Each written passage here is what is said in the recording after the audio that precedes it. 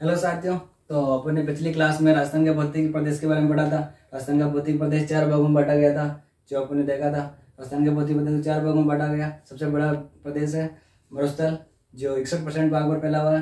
फिर दूसरा है अरावली। अरावली नौ परसेंट भाग पर फैली हुई है।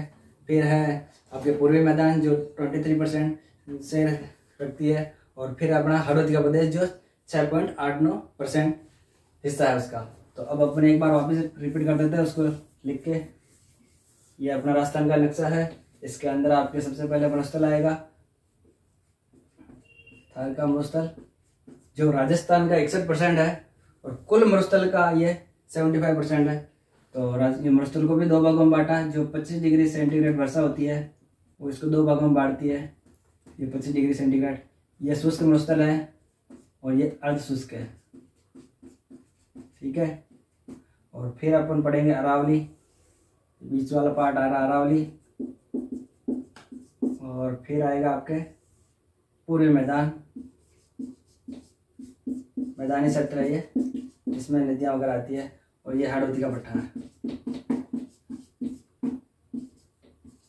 हाड़ौती पठार। ये चार पार्टों में मुख्य रूप से बांटा है और सबसे पहले मरुस्थल है। मरुस्थल को इकसठ इकसठ पॉइंट ग्यारह परसेंट में मरुस्थल फैला हुआ है। नौ परसेंट पर अरावली फैली हुई है। और तेईस परसेंट पे अपने पूर्वी मैदान है और six point eight nine percent Hadoti का पठार है। इनके अंदर जनसंख्या कैसे रहती है? इकसठ परसेंट मरुस्थल है, उस पर चालीस परसेंट जनसंख्या राजस्थान की निवास करती है। अरावली नौ परसेंट है, पहाड़ है, यहाँ पे फिर भी लोग रहते हैं। दस परसेंट राजस्थान की टोटल पब्लिक रहती है।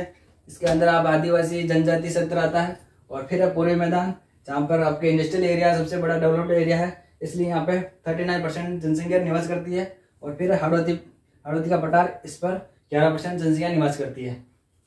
इस प्रकार से अपन, जब कल अपन ने शुष्क मरुस्थल पढ़ लिया था तो आज अपन अर्धशुष्क मरुस्थल के बारे में पढ़ते हैं। अर्धशुष्क मरुस्थल को चार भागों में बांटा मुख्य रूप से गग्गर का मैदान सेकावटी अंतर प्रवेश क्षेत्र, नागौरी उच्च भूमि और लूणी बेसिन। तो अब अपन इसको अर्धशुष्क वाले को पढ़ लेते हैं।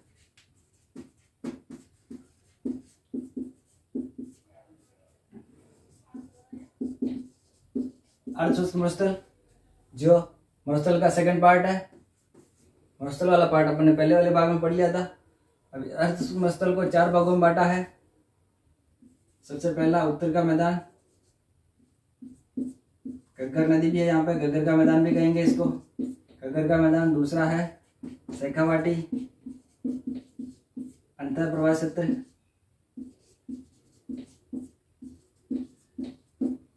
फिर आएगा नागौरी उच्च भूमि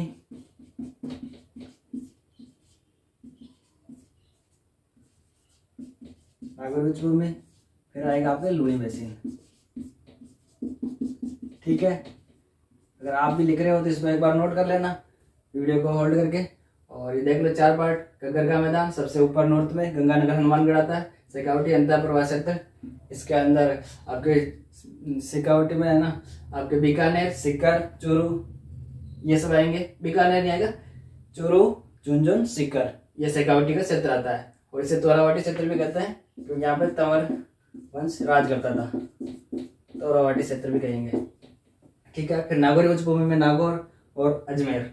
इसके अंदर फ्लोराइड की मात्रा ज़्यादा है यहाँ पे पानी के अंदर। इसलिए यहाँ पे लोग बाग बीमार हो जाते हैं और फ्लोराइड की वजह से फ्लोरोसिस नाम की बीमारी हो जाती है। और उसे कुबड़ पट्टी भी कहते हैं, जो लोगों का सिर्फ़ टेढ़ा हो जाता है, उसे बाका पट्टी भी कहते हैं, कुबड़ पट्टी भी कहते हैं।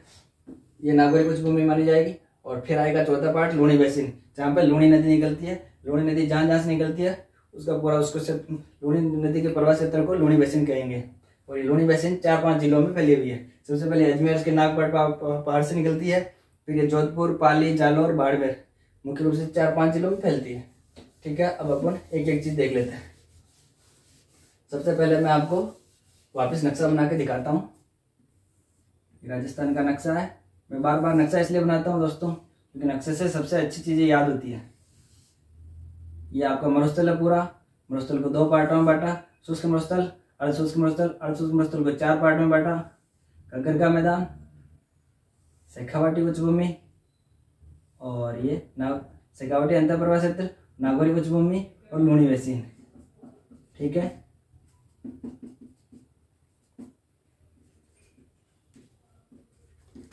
गग्गर का मैदान, शेखावाटी, तोरावाटी, दो नाम है इसके। लूणी लूणी मशीन को गोडवाड़ प्रदेश भी कहते ठीक है? तो ये चार पार्ट है। अब इसको अपन नक्शे को पूरे को पूरे यहाँ बनाते हैं। इस पार्ट को मैं काट के यहाँ लगा देता हूँ।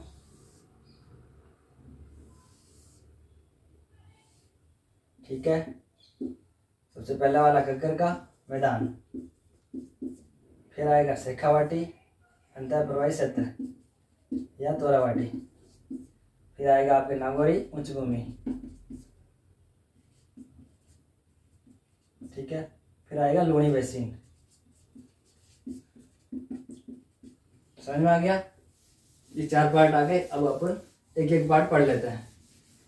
सबसे पहले अपन कक्कर का मैदान पढ़ते हैं।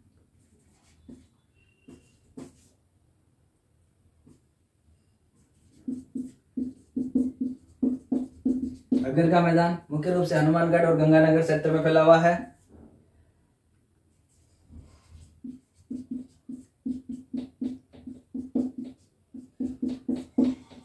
गंगानगर हनुमानगढ़ क्षेत्र में फैला हुआ है और यहाँ पे सबसे ज़्यादा अनाज उत्पादन होता है। इसे अनाज का अनानागर कहते हैं, गंगानगर को। इस क्षेत्र को अनाज का अनानागर कहते हैं।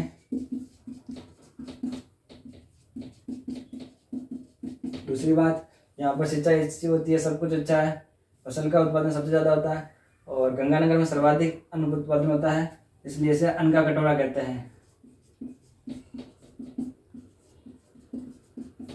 ठीक है दोस्तों, ये गगर का मैदान है और यहाँ पर वार्षिक वर्षा 25 डिग्री सेल्सियस से ज़्यादा होती है और 50 डिग्री सेल्सियस से कम होती है।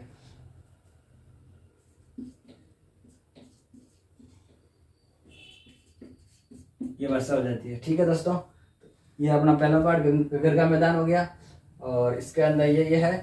अब अपन सेकंड वाला पढ़ लेते हैं।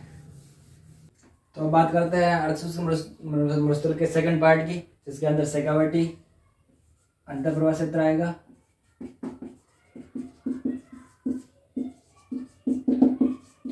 शेखावाटी अंतर प्रवाह क्षेत्र। इसे तोरावाटी भी कहा जाएगा। तोरावाटी इसलिए कहते हैं क्योंकि यहाँ पे तवर वंश राज करता था। इसलिए, और तोरावाटी क्षेत्र कहाँ आता है? अपने कांतली नदी है अंतर प्रवाही नदी। खंडेला की पहाड़ियों से निकलती है, शिखर से और झुंझुन के अंदर लुप्त हो जाती है। यह अंतर प्रवाही क्षेत्र की नदी है। इसके जहाँ प्रवाह क्षेत्र है, उसको अपन तोरावटी क्षेत्र कहते हैं। यहाँ पे तो तमर वंश राज करता था। इसलिए इसे तोरावटी कहते हैं। कांतली नदी अंधा प्रवाही नदी। इसी के साथ में एक और दिखा दे तो आप नोट डाल के नीचे आप लिख लेना कांकरी नदी। दोस्तों कांकरी नदी और कांकरी नदी में ज़्यादातर बच्चे कंफ्यूज हो जाते हैं। कांकरी नदी और कांकरी नदी में यही डिफरेंट अंतर है कांकरी नदी भी अंतर प्रवाही है, लेकिन ये जैसलमेर में बहती है। जैसलमेर की एकमात्र नदी है जो बहती है, और ये अंतर प्रवाही है ये भी, और ये कांकरी नदी है कांकनी और कांतली। ये ध्यान रखना दोस्तों। इसी के साथ अब देखते हैं अपन नेक्स्ट वाला पार्ट शेखावटी के अंदर अब अपन और देखते हैं। यहाँ पे कच्चे कुएँ होते हैं। शेखावटी सेक्टर में कच्चे कुएँ, जिन्हें जोहड़ कहते हैं। कच्चे कुएँ होते हैं जिनको जोहड़ कहा जाता है। और इसी के साथ अपन नेक्स्ट वाला पार्ट देखते हैं। सिक्योरिटी के बाद नगरी उच्च भूमि तीसरा पार्ट है आपका नगरी उच्च भूमि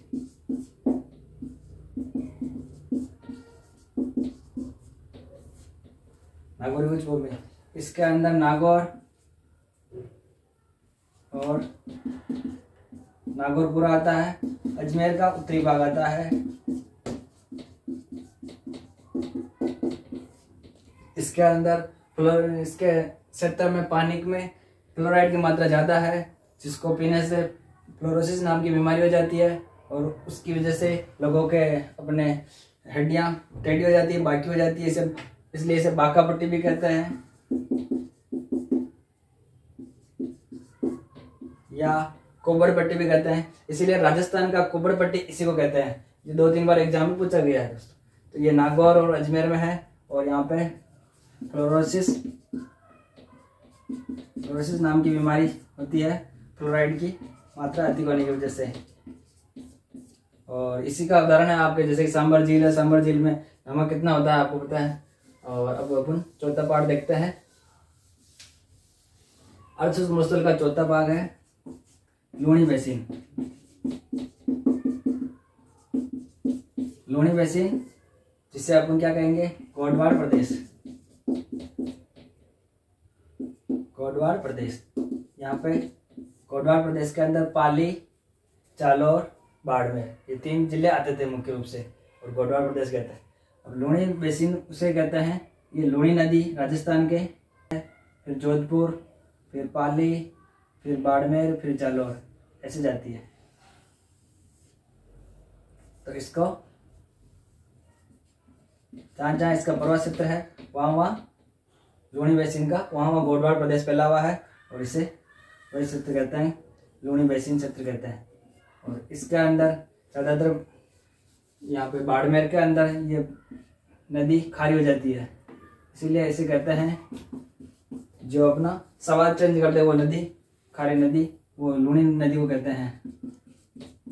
यहाँ से खारी हो जाती है बाड़मेर से और इसके अंदर, जालौर के अंदर, बाड़मेर के अंदर छप्पन की पहाड़ियाँ हैं जो, छप्पन पहाड़ियाँ मतलब कि, डेढ़ किलोमीटर चौड़ाई से ग्यारह किलोमीटर लंबाई है इसकी छप्पन की पहाड़ियों की।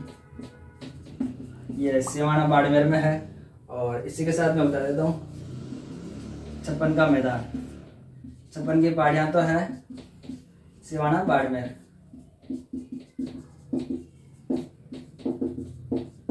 छप्पन की पहाड़ियाँ सिवाना सिवाना बाड़मेर। और छप्पन का मैदान, बच्चे इसमें कंफ्यूज हो जाते हैं। छप्पन का मैदान। कभी कभी छप्पन का मैदान पूछता है, उसे ही बाड़मेर लिख देते हैं बच्चे। लेकिन छप्पन का मैदान है, ये याद रखोगे आप, बाप। बांसवाड़ा और प्रतापगढ़। छप्पन का मैदान, छप्पन गाँवों का एक कंटिन्यू सीरीज़ में अंदर छप्पन गाँवों का मैदान है, उसे छप्पन का मैदान कहते हैं और ये बांसवाड़ा से लेके प्रतापगढ़ तक फैला हुआ है। ठीक है दोस्तों, ये चौथा पार्ट हो गया। इसी के साथ वो अपना अगला पार्ट लेंगे, अरावली। थैंक यू धन्यवाद।